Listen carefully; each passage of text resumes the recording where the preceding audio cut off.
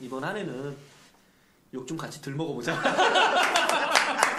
이게 막 슬프기도 하고 재밌게 봤던 게 그냥 대놓고 이제 LOL 보시는 분들은 아 이제 강민 해설자 내가 알잖아요. 네네. 뭐 강민의 이야기 이렇게 쓸 수 있는데 어느 슬픈 한 해설자의 이야기가 있어서 옷들이만 입고 헬스를 하고 자기도 미돈만 입고 헬스를 하고 아니 그게 뭐야? 곰돌이 이렇게 벤처업 이거 할 때 이렇게 해야 하잖아요. 사례를 남자를 못 다리 이렇게 벌리자 이거 할 때는 이렇게 아주머니 하면서 나 이렇게 보고 있는 거야. 왜? 나 왜 보지? 나 하고 있었지. 어, 최근에 그 여자 좀 여자 좀 소개시켜 줘 봐. 야 너 안 그랬잖아. 그러니까 나이가 드니까 바뀌더라고.